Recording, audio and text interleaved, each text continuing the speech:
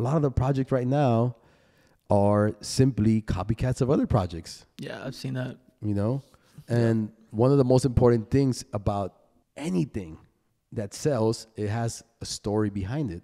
Anything that sells, think about the Bible. It has a story behind it. Yeah. You know, think about uh, Apple it has a story behind it. All the big brands have a story behind it. The reason we love the NBA is because it has a million stories that we witnessed.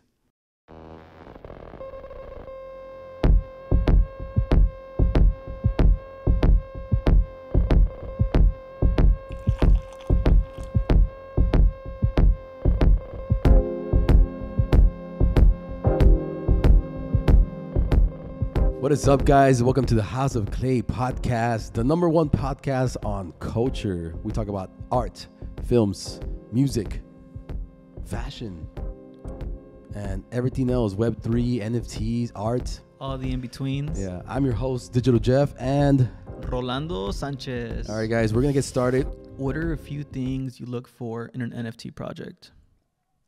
I'm pretty sure it's a very broad question, but let's break it down to top three things you look for. I think the number one thing that people gotta think about is not only about investing in the project, but also like people want to make money too. You know, Yeah. that's the like people people always like say like oh like I only care about the project. Like nah, motherfucker, you care about making money too. Don't lie. We all want to make a profit or not lose at least not lose our money. But the number one thing is the founding team. The founding team has has to have a few requirements. One, they got to be doxed, meaning you got to know who they are. They got to have a you know some type of online profile. Yeah, maybe real people. Real people, Yeah. man. You know, that's the first thing. If you can validate that, it's like, okay, what have they built in the past?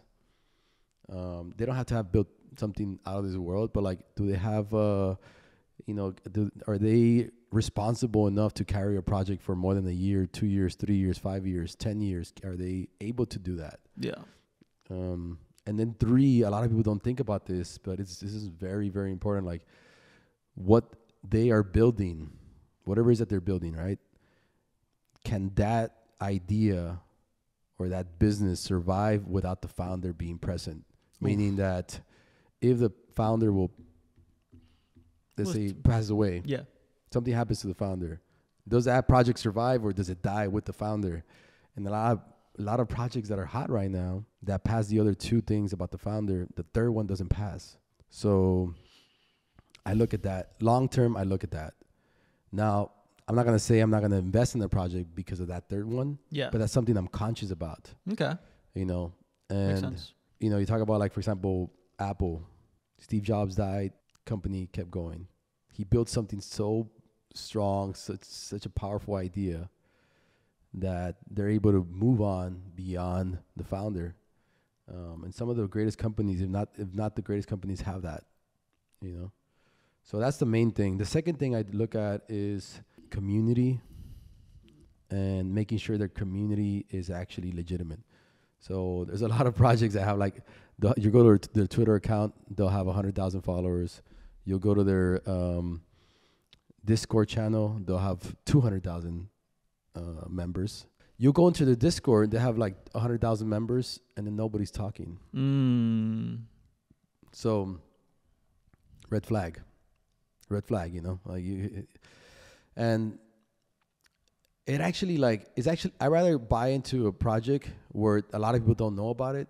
Okay. Nobody like let's say that- let's say let's say I go into a Discord and there's nobody talking about it, but their Twitter also doesn't have a lot of followers. But I like the project, I'll buy into it because I if I like the project, that doesn't mean that the, the people will not come later. The people will come eventually. Yeah. Think about Bored Ape, like when they launched, or, or better example, CryptoPunks.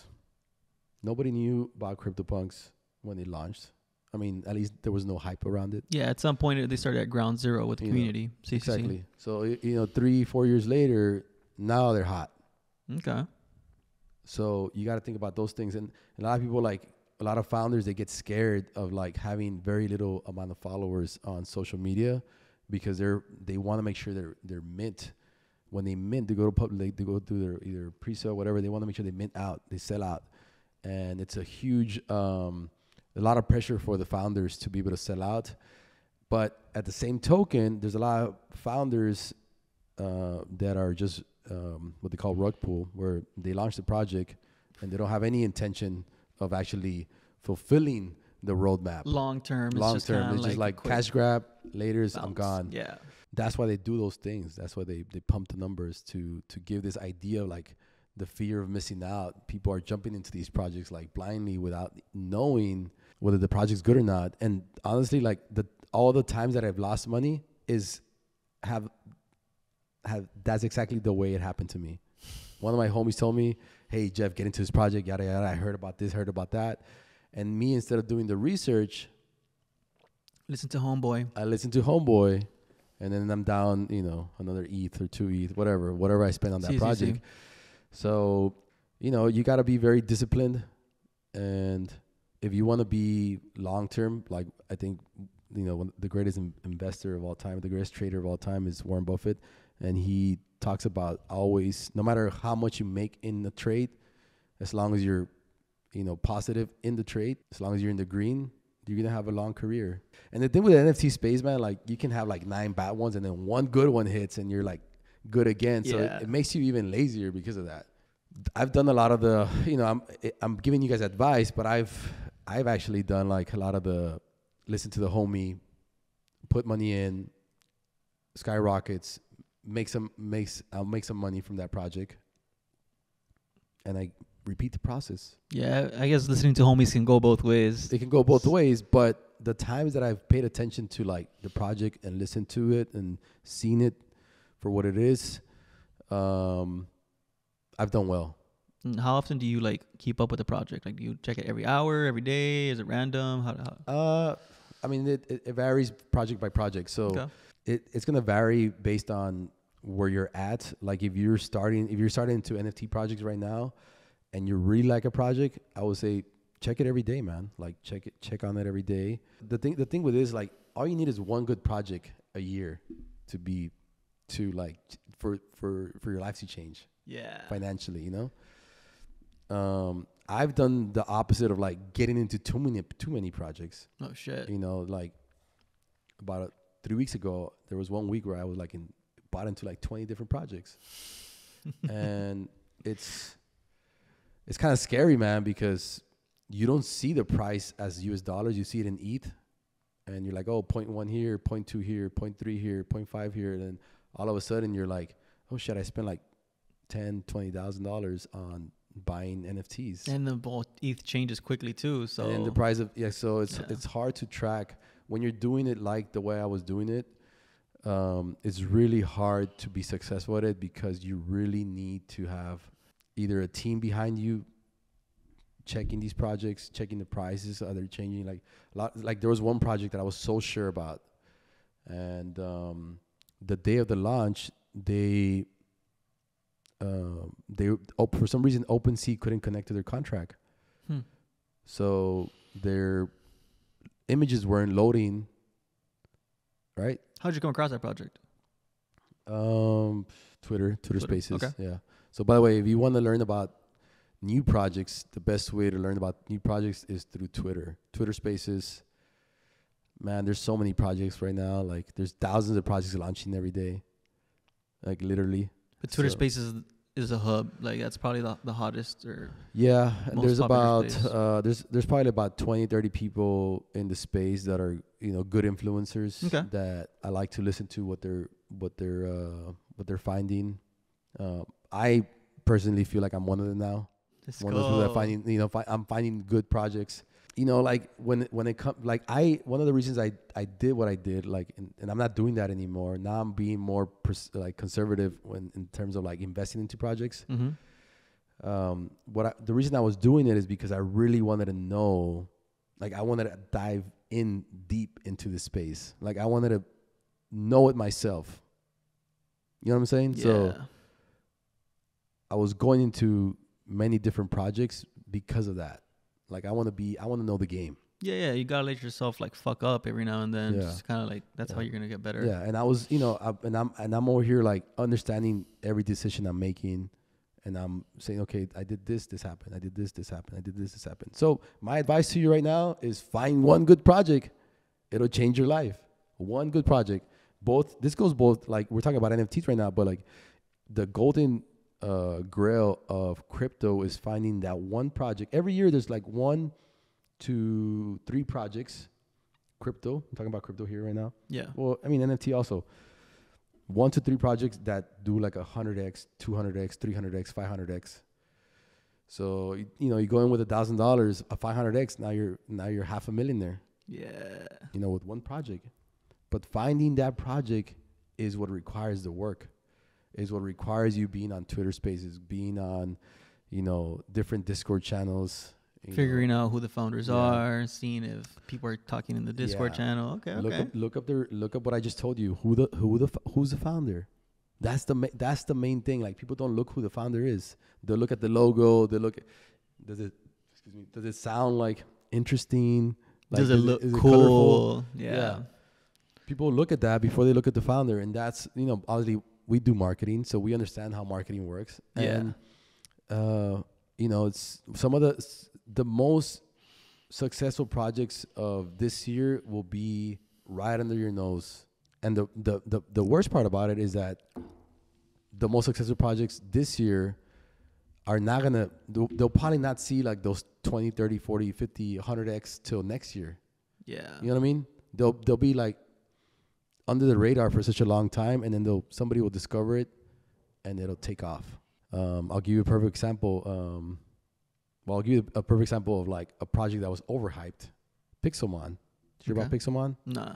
So Pixelmon was a project. Uh, they promised a video game. It's a it was a combination of like uh, Pokemon and Minecraft Okay.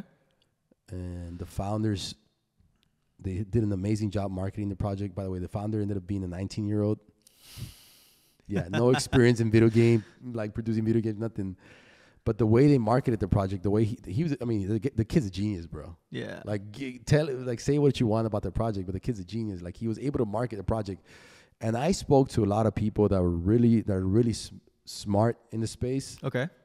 or at least I thought they were smart, that told me this this was the project. I did not have the money to buy into it. Like I, th- there were, I think the um, it was a Dutch auction when they released. Okay. So each NFT was going for about three ETH. I rem- yeah. So imagine buying one token for six thousand, seven thousand. How long ago was this? This is about a month ago. Oh, so ETH was already Yeah, it was where about it's at today, más o yeah. So it's about th- it was about three k per ETH. So. You're, you're paying about almost close to ten thousand per token, bro. and I was like, nah, not gonna do that. you know what I can do with that money? So Yeah. I, you know, because of the price point, I I was not able to get in, and um, everybody lost their money, man. Everybody that everybody that bought, like I I saw people. There was one guy that I know specifically. Um, he spent about thirty ETH in this project. Thirty ETH. Uh, so you got to be careful. Um, look at the founders. Look at their roadmap. Look at the community. The community could be like if it's if you're if you if you're the one that dis- it's because a lot of people don't know this. Like you could be the one discovering this project. Yeah. A lot of people don't understand that. You could be the one that discovers this project. So really learn who the founder is and what their message is. That's the first step. You know, what have they done? What have they built? Um, how old are they? Who have they worked with for before? Go fucking like stalk their Instagram, Facebook, LinkedIn. Look at what they're doing. Uh, look who they're associated with. Another another good one is collaborations Okay. look at what the project uh who they're collaborating with not only not only other individuals in the space but also uh what other brands they're bringing in um that's a huge one bro like some of the best projects have the best collaborations Collaborations. Yeah. I mean, Mhm. you see people, Yeah. we see projects collaborating with like Adidas, Nike, and now it's like diving deeper into like the high end fashion. So yeah I can see collaborations definitely playing a big part. one of my favorite ones uh, probably my favorite project um, in the nft space is smiles Okay. by wahid and giovanni Shout out, shout out.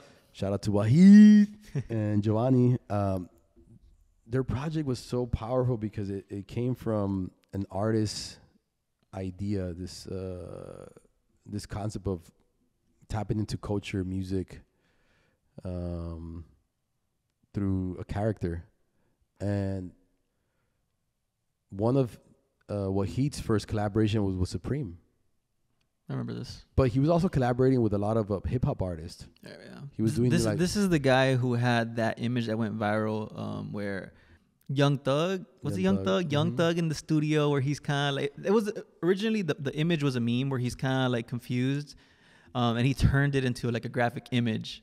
I, I remember, 3D yeah, 3D. Yeah. I, remember, I remember that image just took off. took off. Um, Drake reshared it. Drake reshared it.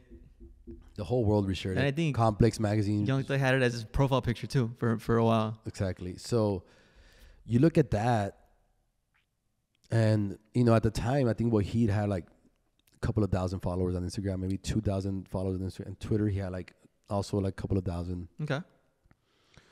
And if if somebody would have come in and seen his project and his ideas, and really studied who he is and what he's doing, who, he's collaborating with, they would have been like, okay, this project's gonna be great. This is gonna be a great. This is gonna be a winner. But if you would have gone in to see the numbers, you would have at the at the time he didn't have the community he has now. If you would have gone and seen like, oh, what he has, what has he built before, like those didn't didn't match with sense, him Yeah. you know. So, but the collaborations did. The collaborations were there.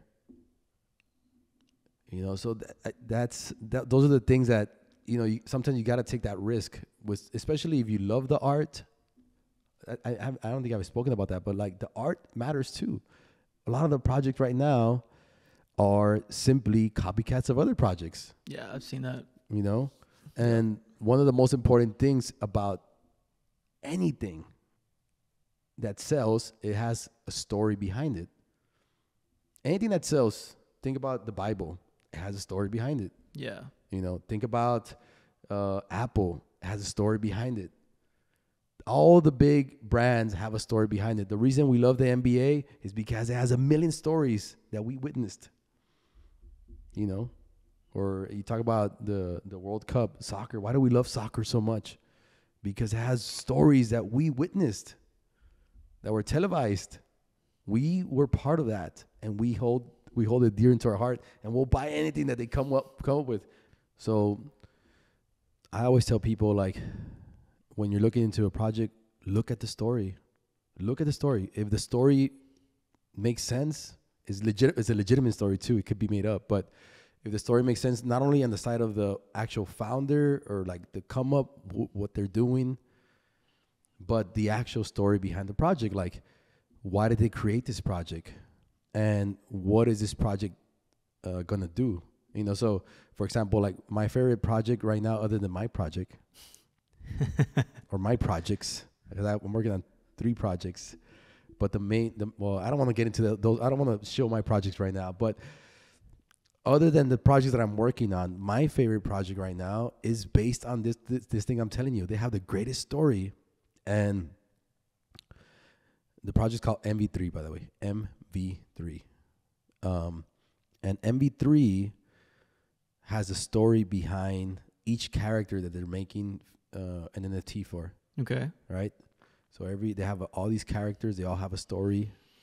Uh, it takes place sometime in the future with these robots. Uh, they haven't really disclosed the story, but the, the the story there's also a second story behind that. It's the story of the founders.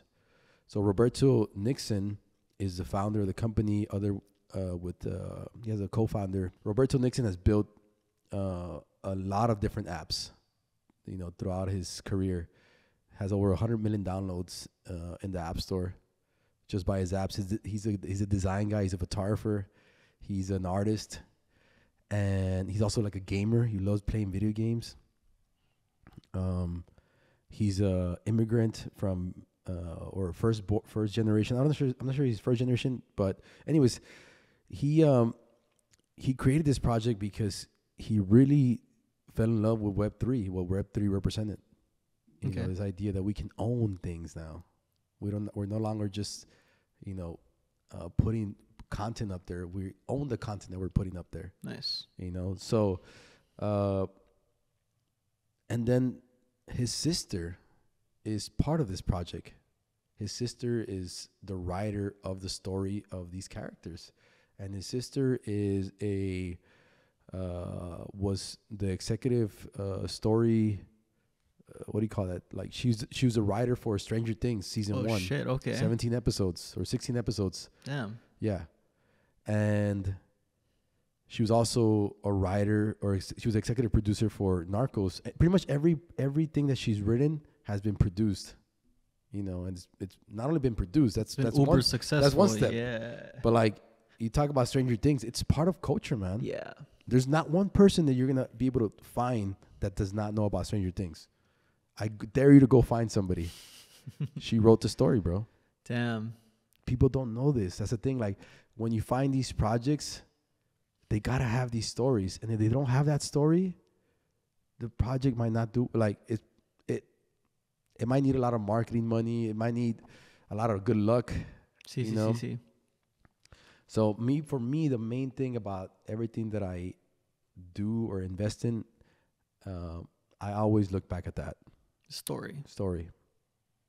Does it have story? That's the question. Does it have story? And if it does, then okay, let's move on to next the next question. You know, Yeah. does it have community? You know, do I love the art? Do I, you know, so you know, that's those are things to look at.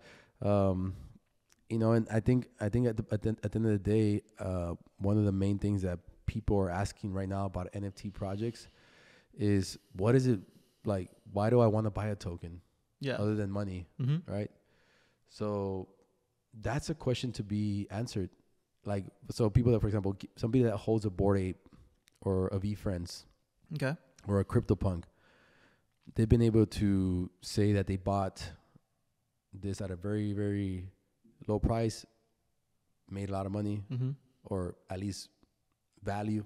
See, they see, haven't see, see. sold it yet. A lot of them have. A lot of people have changed their lives be, by selling one of their bored apes Yeah. or two or three. I know a guy that has 60 of them. Holy shit. Yeah. Well, I don't personally know him. I know who he is. There's a difference. Yeah. Yeah. At one point, it goes beyond the financial part of it. I'm assuming, right?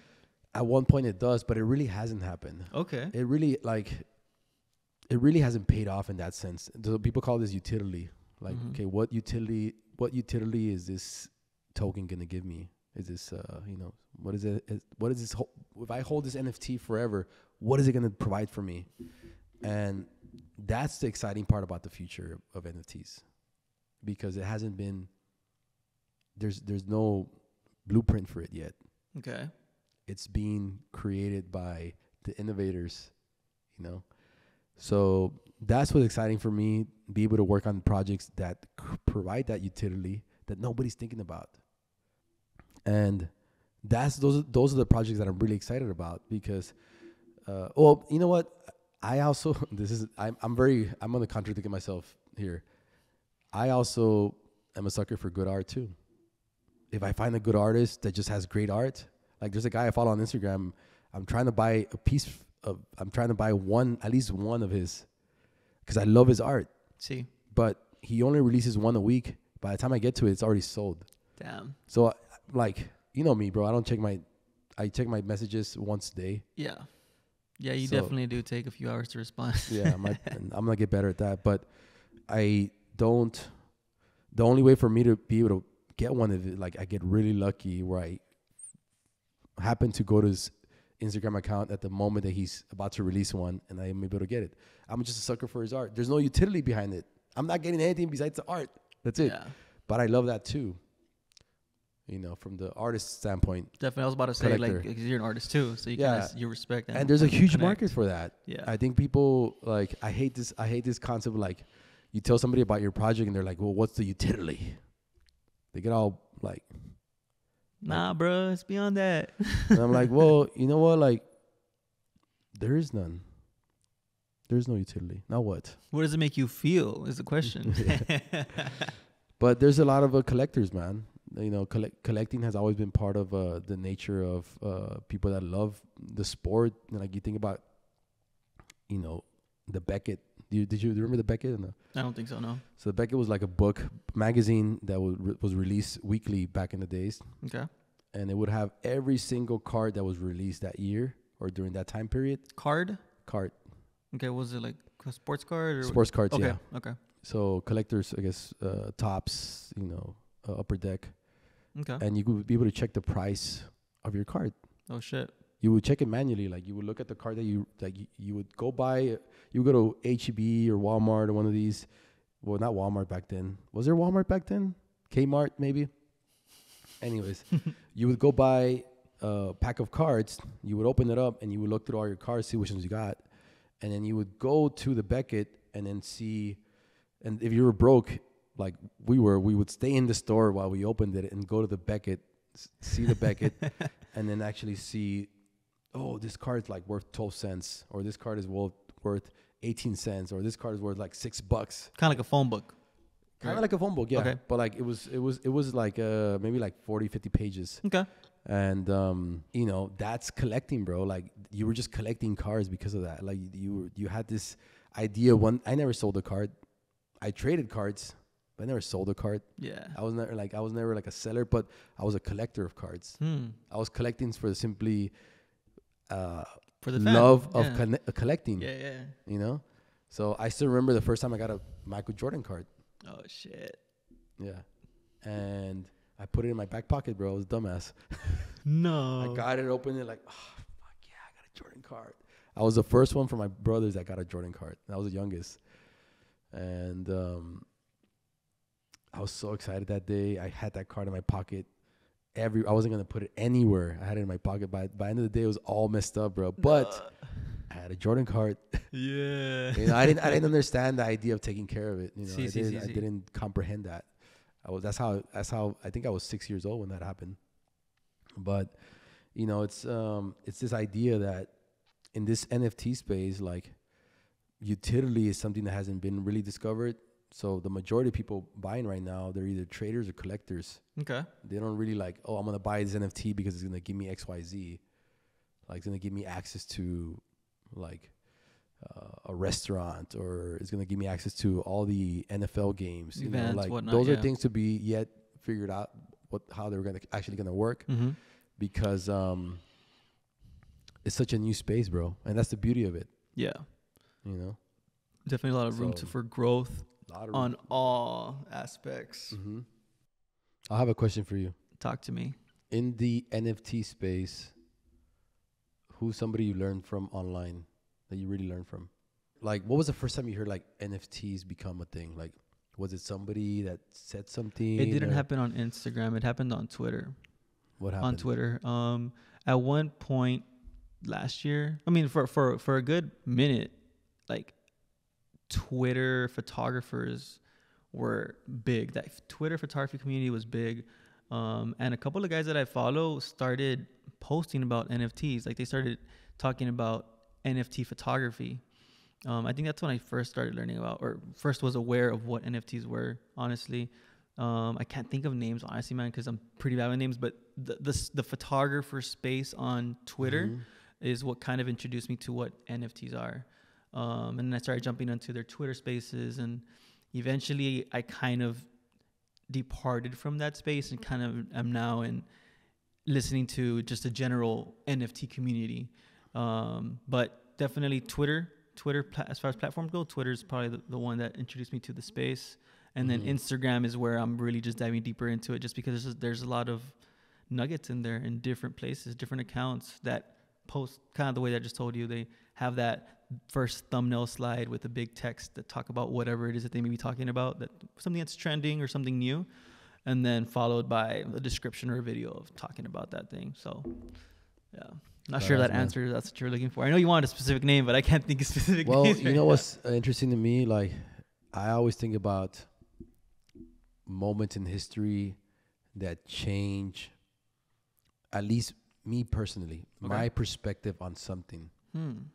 And I uh, was thinking about that question the other day. Like, okay, who really changed my mind on this Web three NFT space? Okay. there's two people I could think of. Oh shit. Actually, there was three. Uh, the first one is Gary Vee.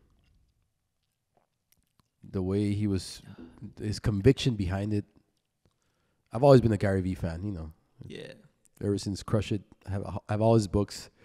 Um, huge fan. So pretty much everything he says, there's a lot of reasoning behind it. I I feel like ninety nine percent of the stuff he says, you know, You resonate in some way. yeah, it's Okay. true. Like Yeah. take it to the bank.